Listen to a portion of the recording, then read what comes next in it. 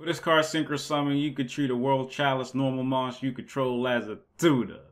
It's already generic level 5 synchro tuner, but then you made it so you don't even have to play tuners. You're probably playing Ghost Girls. And those are tuners.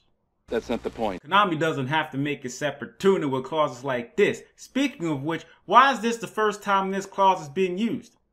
I have no idea, but it better not be the last time.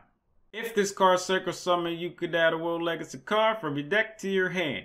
This searches 30 cards. Well, who's counting?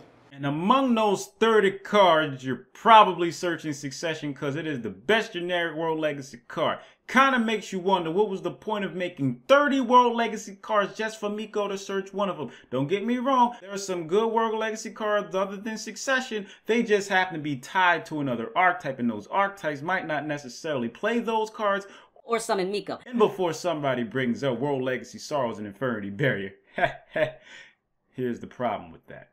It requires you to control a co-linked monsters, and that requires more setup than Miko can provide. If it had an activation requirement similar to Nine Pillars, then sure it wouldn't be. Terrible. Best believe it will be searched with Miko, but it don't, which makes it pretty unplayable. If this synchro summon card is sent to the graveyard, you can special summon a world chalice from your deck or graveyard. Lee or Guardragon, Lee or Guardragon, Lee or Guardragon. Those are the ones you're going to be summoning the majority of the time. Am I lying?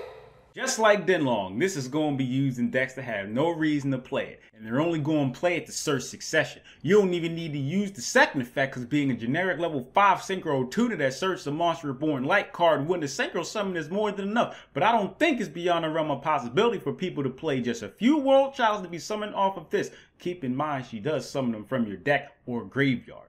Ridiculous. Yep, she is obviously a good card in a similar fashion Denglong was is in the OCG. But I don't think it was a good idea to give basically every deck that can summon her a means to search a monster reborn like card. I'm not saying that's gonna get banned like Denglong did, because that would imply that it is as as Denglong. But what I'm saying is I've got a bad feeling about this.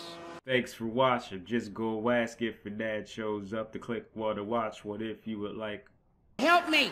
Help me! without spending your money, but my Patreon's in the description if you happen to be feeling Just a little bit. generous.